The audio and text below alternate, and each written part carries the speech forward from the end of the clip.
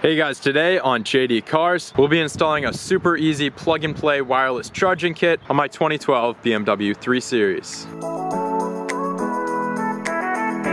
So I'm sure many of you have seen my previous wireless charging video showing you the installation process of this custom wireless charging tray here in my BMW F30. This wireless charging tray I built has been holding up really well it works great. The only problem is obviously I had to give up my cup holders and it is slightly raised up from the center console here, so the look could be improved. So a really cool company, Car Qi Wireless Charging, reached out to me and they actually have a kit that installs right here in the center console, which leaves the cup holders free to be used. So let's jump into the box here to see what we receive.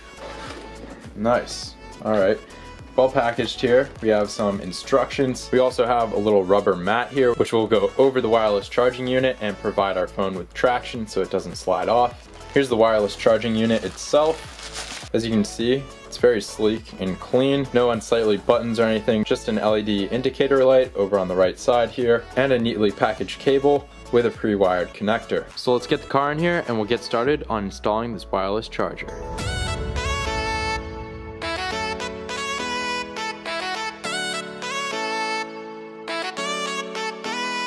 We'll begin by removing the center console iDrive trim. To remove the iDrive trim, open up the armrest here, and then use a plastic pry tool and pry up the back of the trim.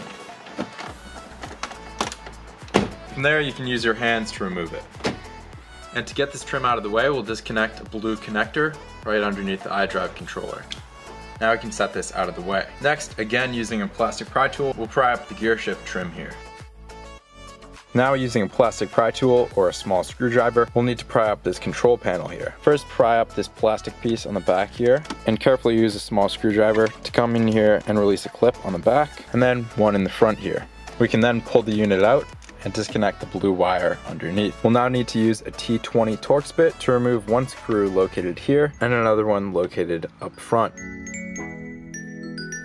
We can now pry up on the center assembly here, starting in the back corner pop it up and out of place, disconnect your electrical connections underneath, and remove the assembly.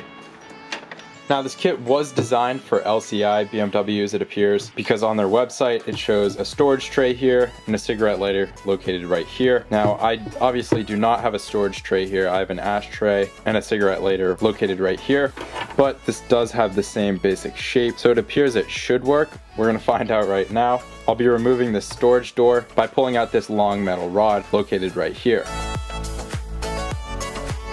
appears, I'll first need to release this spring right here and one on the other side, as well as these two gears on either side. And this door should now come out of place like so. And I'll be using a strip of 3M extreme mounting tape here to secure the unit. And there it is, installed in the center console here. Actually looks pretty good. Now we'll flip it over and take care of the wiring before we pop this back in the car. So the beauty of this setup is that it's completely plug and play. There's no cutting, crimping, or soldering of wires thanks to this cleverly designed piggyback setup. As you can see, this harness has the same exact connector as our cigarette lighter here. So we'll plug the male section of the connector into the cigarette lighter here, and this connector will plug directly into the car's factory connector. And then the black connector from our wireless charging pad plugs into the black connector of the harness, like so. Now I'll neaten up these wires with a couple zip ties.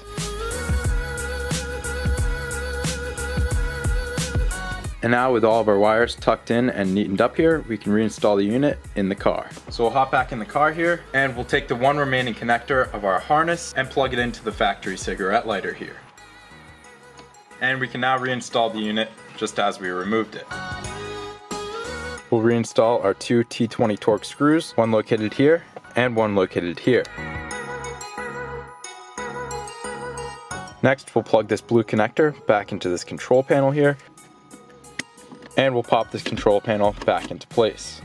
Now we just need to reinstall our gear selector trim and our iDrive trim.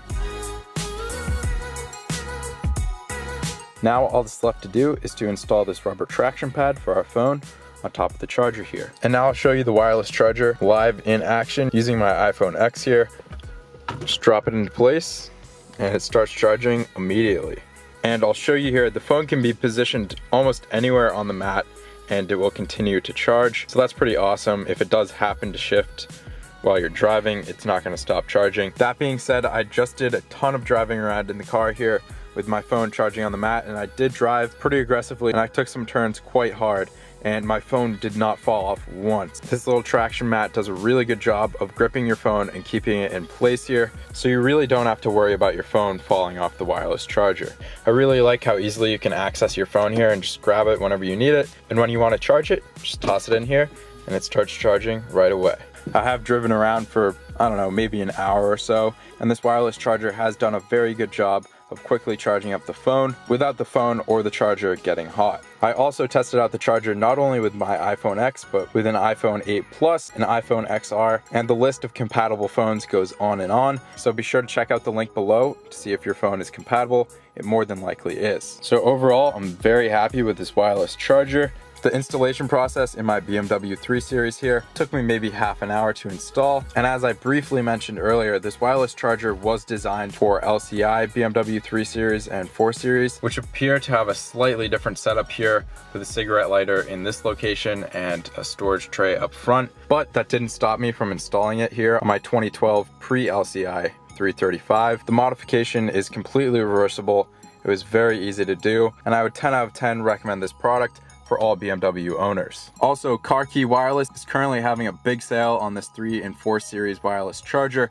It's usually $160, but they have it marked down incredibly low at $69.99 for early bird customers. So if you're interested in one of these kits, be sure to go buy one before their limited sale runs out. Also, I want to make a quick giveaway announcement. I just dropped these sweet new limited edition JD Cars 4th of July edition t-shirts. As you can see, I had the JD Cars logo made up in a 4th of July American flag theme. It looks really sweet. I can't wait to be rocking this on the 4th. Also, these t-shirts are super soft. They're next level performance t-shirts t-shirts with the tearaway tag, so they're super comfy, super soft, and they fit great. We also just released a version of this shirt with the same American flag logo on the front, except in the back it has a modded in America graphic on it. Pretty sweet definitely go check it out on the website. So I'll be giving away these t-shirts in a size of your choice, or you can opt for a $20 JD Cars store gift card. The choice is entirely up to you. All you have to do is subscribe, follow the JD Cars Instagram at jd.cars. Third, leave a comment down below what you'll be doing to celebrate the 4th.